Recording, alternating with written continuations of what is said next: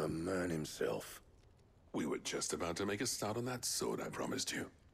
It's funny, but none of this would have been possible without your help. You remember Camille? We'll be using his level work for the grip. The steel, meanwhile, will be tempered in a fire, burning the cinders you charmed out of old Zoltan here. And that whetstone from the Outer Isles, that'll be what gives the blade its edge. And the final flourish will be my talented colleagues engraving. A team effort led by the greatest blacksmith alive. Now, now, save that talk till the thing's finished, yeah? Right. I'm ready if you are. to the bellows it is then.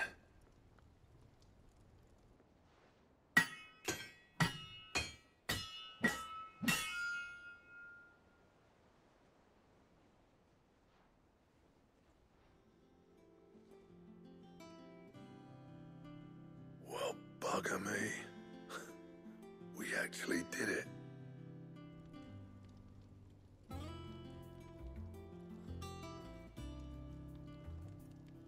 The sword to end all swords. Ragnarok. It's quite something. I, uh, trust you'll take good care of it. Thank you. Both of you. So, does this make you pair the greatest craftsman alive then? This? nah. This was just following the footsteps of the greats of old. It'll take more than that to earn us our place in history. But we're up for the challenge. Here, A list of materials. Zoltan and I got talking on the long road back from Dravost. We reckon with those items there, we could craft something even better than the Ragnarok. Something worthy of a legendary outlaw like yourself.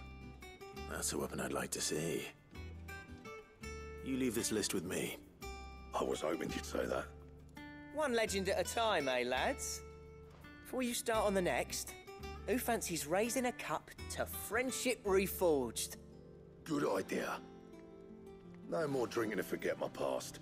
It's about time I had something to celebrate. then tap the kegs! Vulcan's boys are on their way!